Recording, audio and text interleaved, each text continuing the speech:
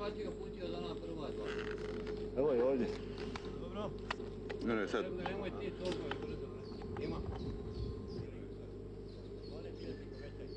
Može. Nemoj, nemoj. Čekaj. Nešto, nešto.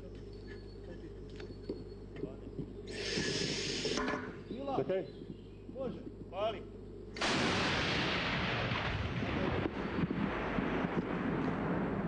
Pa me izvijesti ovdje.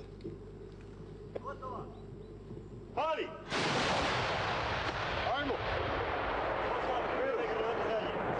Ima, ima, ostavi.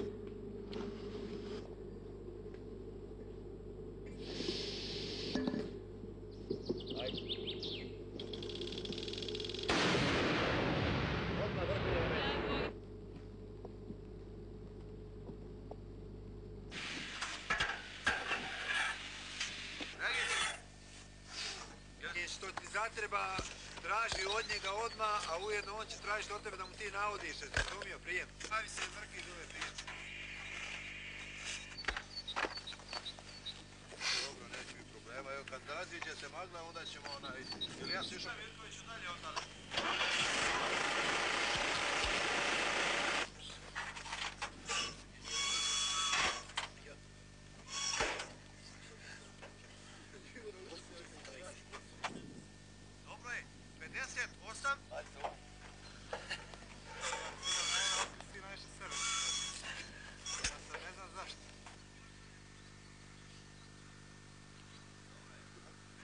поставив доском.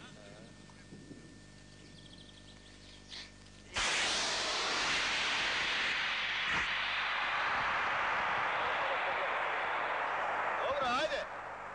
Прилично е!